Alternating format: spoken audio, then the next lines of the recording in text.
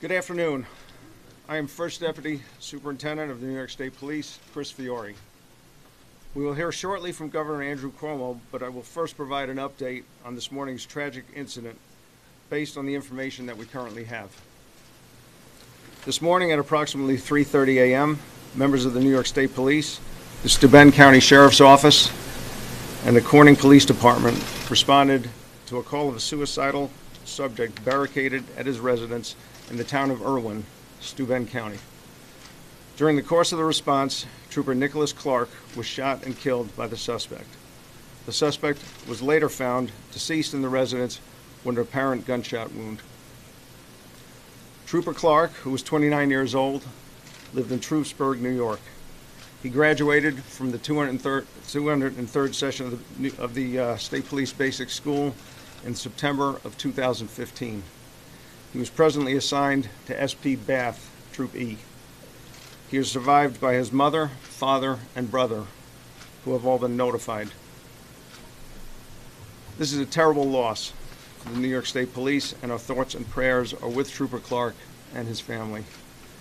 The incident remains under investigation, and the state police will make additional information available as it comes in. I would now like to hand it over to Governor Cuomo. Thank you. Thank you.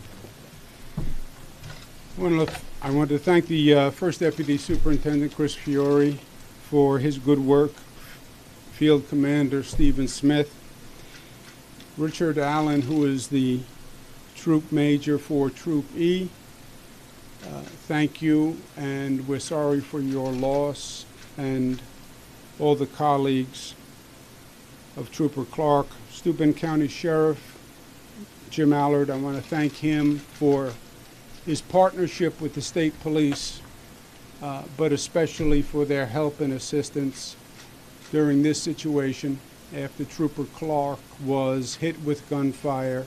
A deputy sheriff uh, put his own life in danger to pull Trooper Clark to a, a position of safety. To the Clark family, to his mother, his father, his brother. We hope you find peace in this senseless uh, act of violence. You have a 29 year old trooper, a stellar trooper with a, an extraordinary record, his whole life before him, great athlete, well accomplished. He wanted to do one thing, which is help people and be part of public service. And that's what the New York State Police afford an opportunity to give back to your community, to help your community, to help other families. Uh, situation like this makes no sense. Uh, on any side, the loss of life, 29 year old with his whole life ahead of him, was just trying to help and do good things. As governor, you deal with a lot of different situations. Uh, some uh, almost unimaginable, especially in these difficult times. This is one situation that I've gone through before, the state police have gone through before. 13 troopers lost in five years. There's no answer, there's no point. Uh, it's just sad and painful.